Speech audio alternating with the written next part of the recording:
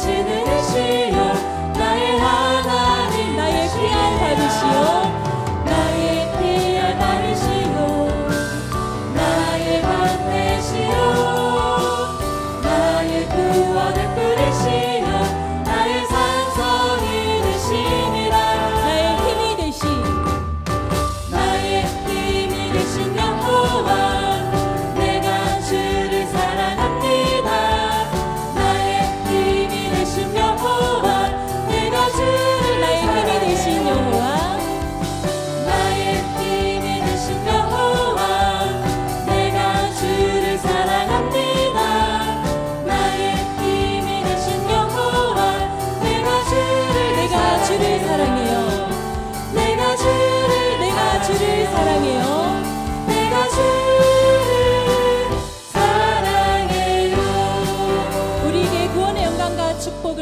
다시 하나님께 감사의 박수 올리겠습니다.